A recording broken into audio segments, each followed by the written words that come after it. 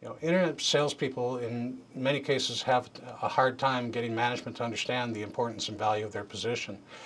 Uh, experience tells me that the best dealerships that have uh, that the internet managers or internet directors have been able to show the management value is that it's it's a consistent thing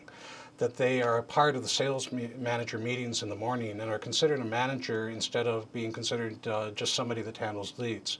Secondly, uh, reports. Reports should be on the general sales manager and general manager's desk uh, daily, weekly, and monthly to show those people the value of the number of contacts that we actually got from the internet department and what, what, how many appointments were set, how many appointments shown, and how many sales were made, and what the gross profit on those sales were.